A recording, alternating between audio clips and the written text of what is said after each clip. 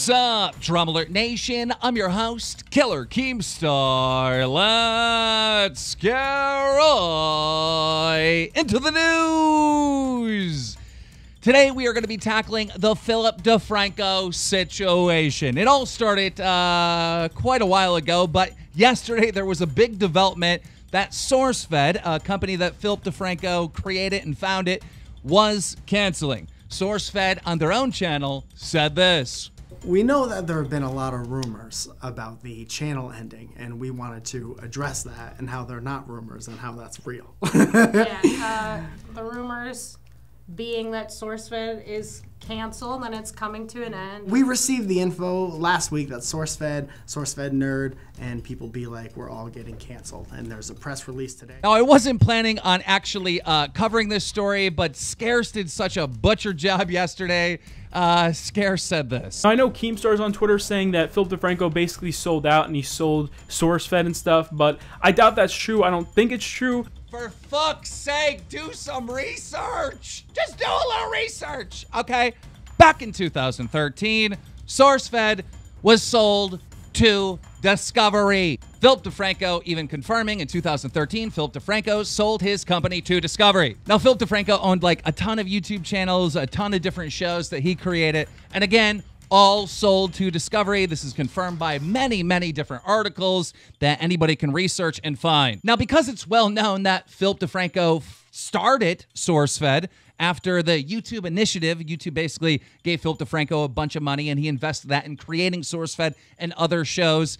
Uh, and with that being canceled, people just uh, assumed that Philip DeFranco was canceling the show and they were giving him shit. This person said, Thanks for ending SourceFed, you asshole. Philip DeFranco responded by saying, To Bon Jerton and other idiots tweeting me gems like this, I haven't made decisions regarding the SourceFed nerd channels in years. And Philip DeFranco again confirming on his own YouTube channel today that he doesn't own SourceFed. He's not making the decisions he said this. And then one of the most requested stories today, let's talk about SourceFed. If you didn't see last night, the YouTube channel SourceFed announced that SourceFed, SourceFed Nerd, and the channel People Be Like are being canceled. Now, if you're new here and you're wondering why people are asking me this question, it's because over five plus years ago, I created SourceFed and then later SourceFed Nerd. But a big thing to note moving forward, and I've said this on other occasions when people ask me about the content of their videos or decisions or whatever, I have not been involved in nor made choices on those channels for the longest time. And that was always kind of the intent. Now, for you long timers who know what the original content was and what it is now, you know that it's a, like it's pretty much a completely different channel. Both in content and the people running it. Like I hand selected the first six hosts for those channels, but the change was also kind of the point of the experiment. From the beginning, my goal with SourceFed was to have whoever was producing and hosting that show drive that show. And of course, it's going to change over time. Initially, it was myself and a producer, then the host. Then, because the funding for the YouTube channels ran out and I was paying for the channels out of my own pocket and it was burning a hole, it was not profitable at that time. I talked to and sold a bunch of channels to Discovery Digital Networks and Revision 3. That relationship continued for a while. I became less involved until I was completely not involved. Now it's 2017. The situation has changed further. There was a merger of a bunch of different channels and networks into a thing called Group 9. Group 9 is now who owns and makes decisions regarding those properties. So those asking, Phil, why did you shut down SourceFed? I didn't. I didn't make that decision. Also, in connection to this, there was a Tube Filter article that talked about this that said that the reason that I took time off was to deal with this. That's not the case because I haven't had input on that channel in a very long time. My time off last week had everything to do with the future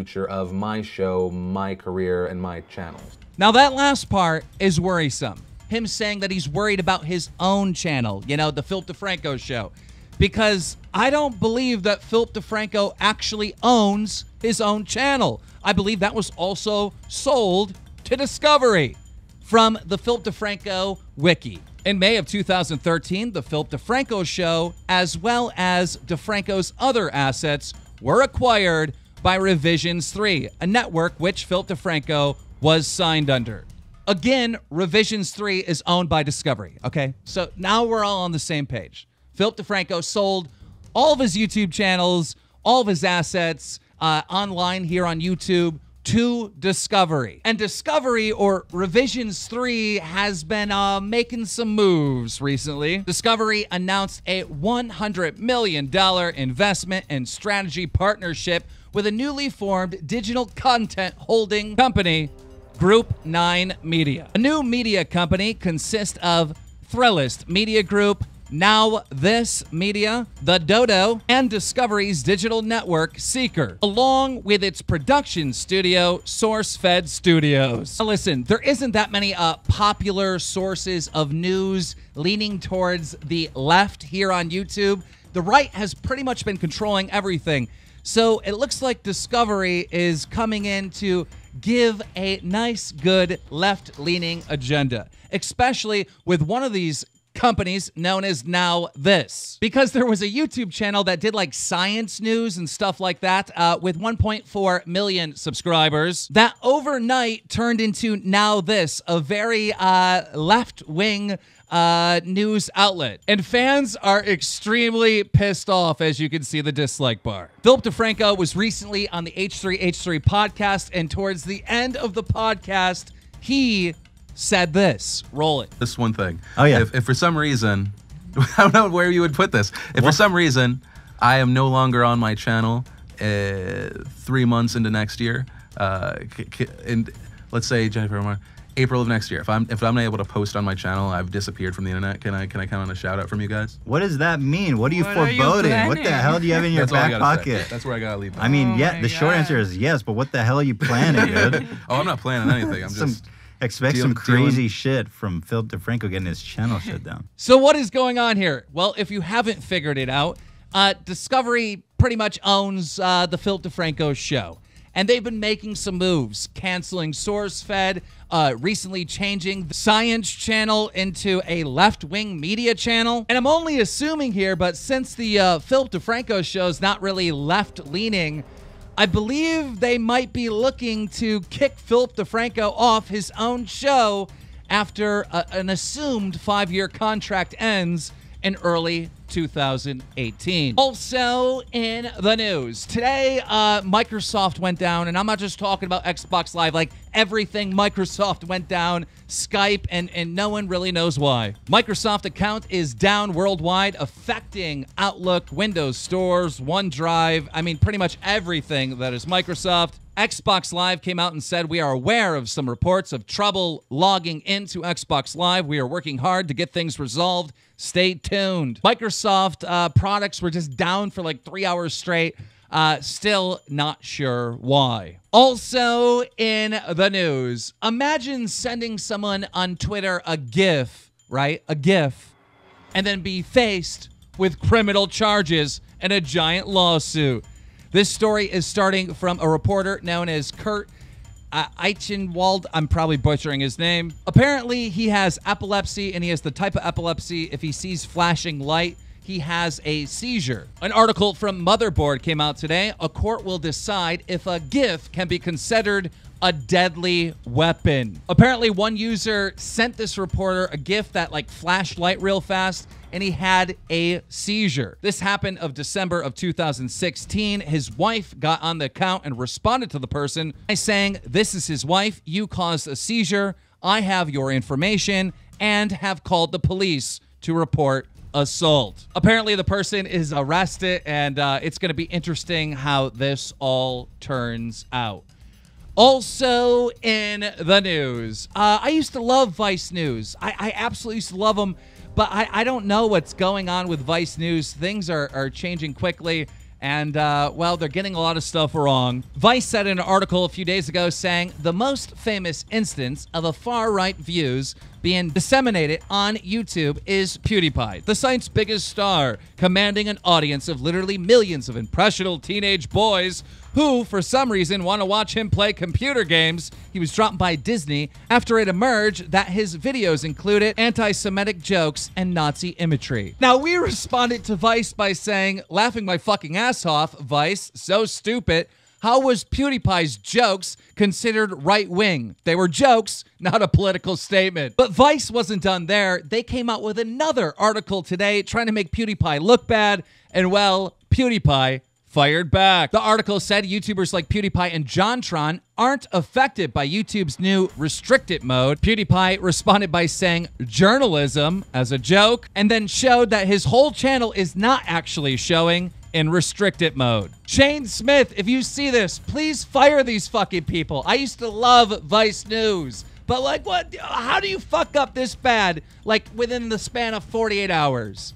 And now for our final story. I think I had a little bit of a voice crack in there. Now for our final story, uh, coming from Eugenia Cooney. Uh, a lot of people have made videos uh, saying that she's anorexic and that she might die, and those videos are now demonetized throughout all of YouTube. She tweeted out, so I guess now any video mentioning me is being demonetized. Not sure if it's part of what's been going on with YouTube or what.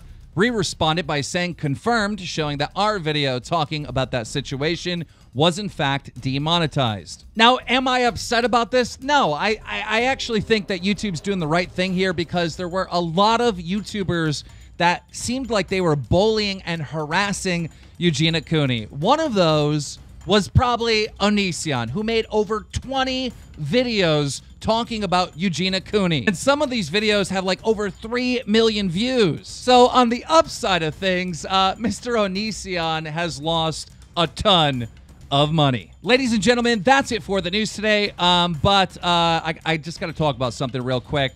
Um, stuff is is changing behind the scenes with DramaAlert. I know this sounds exactly like the Philip DeFranco thing, um, and it's somewhat similar, but um, we might be moving DramaAlert to another channel. This isn't hundred percent.